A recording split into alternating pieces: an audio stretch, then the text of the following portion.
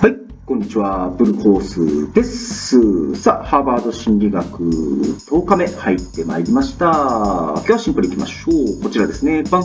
本日のテーマはですね、理解し、理解されるということです。まあ、相思相愛なんていうのはですね、よく言ったものの、今実は皆さんご存知の方もいるかもしれないんですけれども、世界的にはですね、離婚率っていうのが高まっている状況なんですね。で、まあ、アメリカなんかではもう50%、まあ、半分に、えー、と2組に1組はですねもう離婚している現状で日本でも実は3分の1は離婚しているなんていうふうに言われたりしてるんですねでこれ一体何でかっていうと原因の根底には相互理解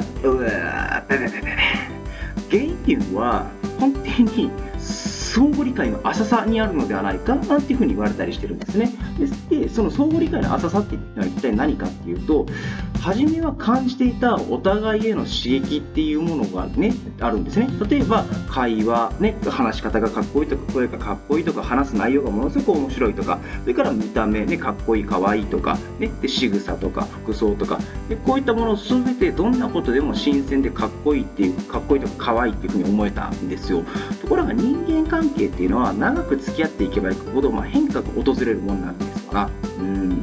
で何かっていうと時間が経てば色あせてしまうと。でだんだん相手の全てにおいて外見だろうが内面だろうかっていうものに慣れてしまってでむしろ自分都合の目線で嫌なところに目がつきやすくなってしまったりするんですよ。で熟年夫婦の中によくある会話でいくと皆さんもなんかああるあるって聞いたことあるかもしれないですけどお前あなたは変わってしまったと。ところがこれは実はそのお前とかあなたっていう対象が変わったんじゃなくってその人自身の相手を見る場所が変わっただけのことなんですね、うん、だから変わったんじゃなくて本性を見せただけなんですよ。ね、本性を見せるって別に変わったってわけじゃないですからね。だから慣れ親しんだ関係こそ親密性を深めるチャンスにつなげてほしいと思うんですよ。確かに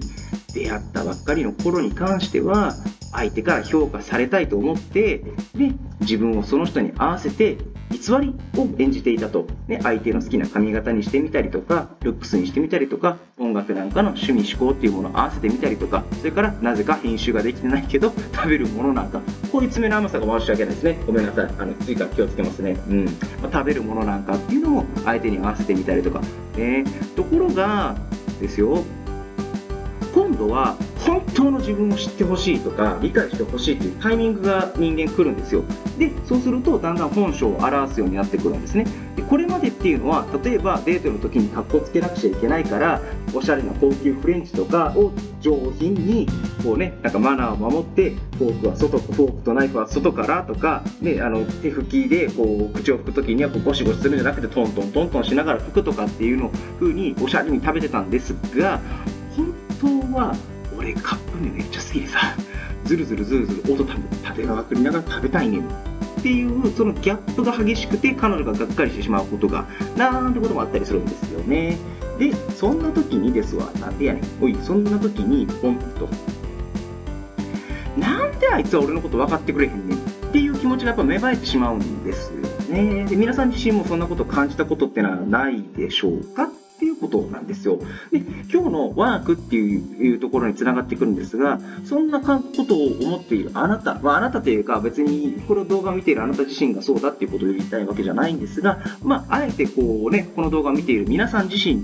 ですね自身自分自身をぜひ振り返ってみるきっかけにしてもらえたらと思います。改めて問いかけます。あなたは相手を理解できますか？できてますかっていうことがスタートになってきます。人間はですね自分を知ってほしいと思う強気持ちが強い一方で相手のことを知ろうってあんまりないんですよね。あいつのこと知りたく知りたくてうずうずするわっていうのは多分最初に彼氏彼女として落としたい相手がいる時ただそれだけくらいだと思うんですよね。うん。それもまあ男に関しては95%はまず間違いなく下心。ですけどね、まあ、あの別に過去を知ってうんぬんとかっていう深いもんじゃなくていいんですよ、ね、ただ相手の行動や発言の背景を知ろうとするだけでいいんですよ。日常の過ごし方とかね、まあ、そんなレベルでいいんですわ。で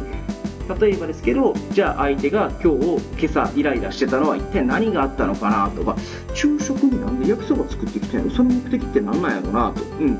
か寝るまでのまったりした時間相手何したいと思ってるんかなっていうようなこと。で今朝イライラしたっていうのは昨日なんか上司とかあるいは家族とかと喧嘩したのにめちゃくちゃ腹が立ってそれを引きずって朝起きてきたとか昼食に出した焼きそばっていうのはただ単に焼きそばの賞味期限が切れそうだったからもうちょっと生活のことを考えてそれを作ったとかね。寝るまでのまったりした時間っていうのはやっぱり映画見たいとかスマホをゆっくり見てたいとかもう何もせずにぼーっとしてたいとかいろんなね目的があるというふうに思うんですよね。うん。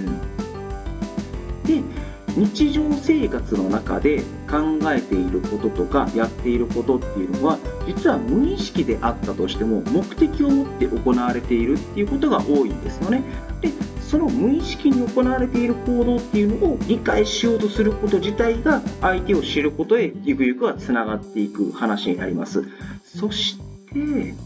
相手を知ろうとするその心が実は自分を知ることにもつながっていくことにつながるんですね。はい。で、なぜなら相手のことをいくら考えようとしたところで理解するのは自分の主観なんですよね。相手はこうだとか、ね、あの人はこうだっていう風に自分の主観がやっぱり入っちゃうんですよ。だから相手を知れば知るほど自分ももしかしたらこう考えてるんじゃないかなっていう自己理解、自分のことを考えていくことにも深まってつながっていくということなんですね。でプラスアルファでもっといいのは相手を理解しようとする姿勢っていうのが相手もあなたのことを知ろうと思ってくれるきっかけになるんですね。